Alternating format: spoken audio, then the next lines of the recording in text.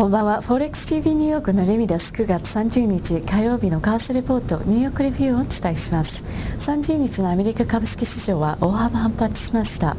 ダウ工業株30種平均は前日比485ドル29セント高の1万850ドル66セントで終えた。ナスダック総合株価指数は98.60ポイント高の2082.33で終えた。米議会幹部が金融安定化法案の取りまとめに意欲を示したと伝わり法案の早期成立に対する期待が改めました。前日に株価が急落した後とあって値頃感や自立反発狙いの買いが入りました。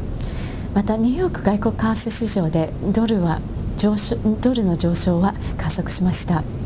ユーロは対ドルで大幅続落しポンドも売られました。円相場は反落。一時106円48銭の安値をつけました。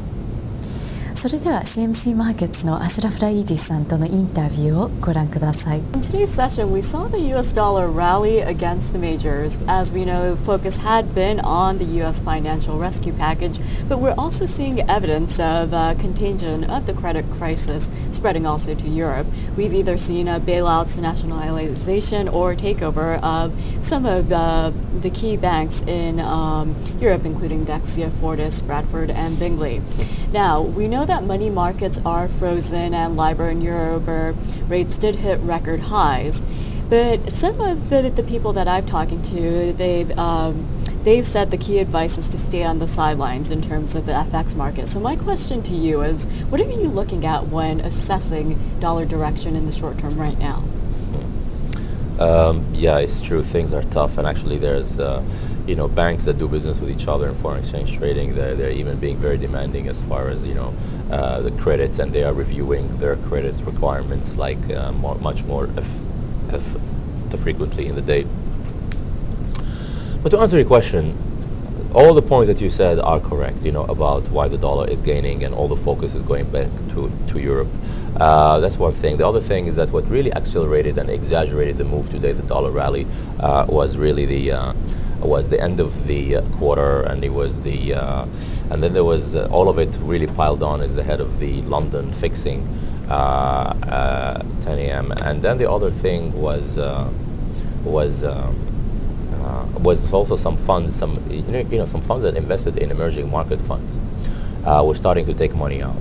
And those funds are basically dollar-based funds, but they put money, you know, in Brazilian real in emerging markets. And, and they were doing a lot of unwinding, and they were either because of hedge fund you know, re- redemptions or whatever, and they were the money was going back to dollars, so that was accelerating. And the other thing is obviously is because you know there is uh, uh, I mean, I wrote a piece today called, uh, you know, to, to, our client, you know, the time for a fake rally in the stock market. Well, after such a big drop, you know, you know, the market has to has to has to rebound, and when that happens, the dollar has to stabilize a little bit. Not that it was hurting yesterday; it was hurting against against dollar yen, but it was but it was but it was gaining against against the others. And and I, and I think that you know today was also a central focal point on the European woes that you said, so that really accelerated the move. But to answer your question, I think I will wait for dollar yen to go to 107 and then maybe you know take a short position.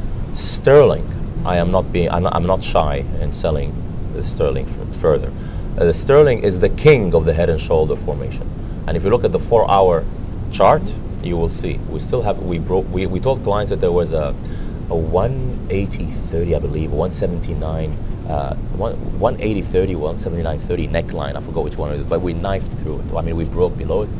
And I think right now we really have to go towards 177.30 and 177 and then 176.60. 以上 CMC マーケッツのアシュラフ・レイディさんとのインタビューでした。フォーレックス TV ニューヨークのレミがお伝えしました。最新の為替情報については、フォーレックス TV ジャパンをご覧ください。